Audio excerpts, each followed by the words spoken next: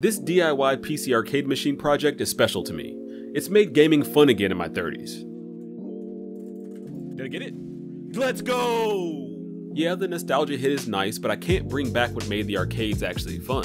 The people, the community. So in order to find that community, I'm adding a few mods to turn this arcade cabinet into a live stream battle station, with help from our sponsor, PCBWay. PCBWay offers high quality custom PCB manufacturing and is a one stop shop for DIY enthusiasts just like us. Whether you're building a robot, adding some screens to your arcade cabinet, their affordable prices make them a go-to resource. After you're done with this video, check out PCBWay's project page to get inspired for your next project with a link below. So the first mod that I have mounted up here is a 7-inch touch display. It's actually connected to a Raspberry Pi 4B with 4 gigs of RAM. It's actually mounted with one of those car mounts that you'll find on a dashboard or a windshield. So think big suction cup and that's how it's being mounted up here. It's been up for a few days now and have had any issues, no falls or anything like that, so I think we're good to go. As far as the software is concerned, I am running Android 11 on the Raspberry Pi 4. And it's not just because of Android's touch-friendly user interface, it's also because I want to run a specific app called Streamlabs Controller, and it only is available on Google Play Store and iOS App Store. So basically I needed a budget Stream Deck, so I didn't have to go back and forth between the arcade cabinet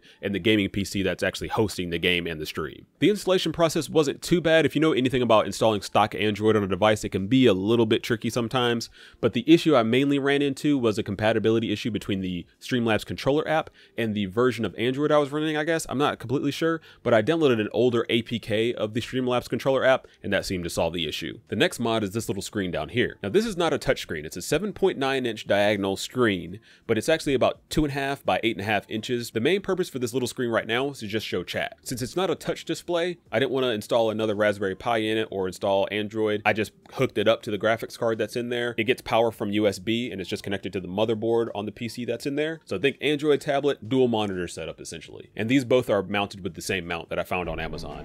I'll put link for all the materials in the description. I'm really happy with how the touchscreen turned out. Everything is working great. The only thing I would change here is just get some 90 degree angle cables or adapters here so these cables kind of aren't hanging over the interface here. It looks a little clunky. Other than that, everything's working fine. Now the final step is just testing. I did do a quick 15 minute live stream the other day where I just made sure everything was functional. No crashes, no major bugs or anything, but I really didn't have any chatters. Uh, like I said, only went live for like 15 minutes during my lunch break. So turn your notifications on, get notified when I go live next time. I am playing Street Fighter 6 right now. I'm trying to learn how to be somewhat decent at fighting games. I'm, I'm giving it an honest try. So just turn those notifications on and let's get to it.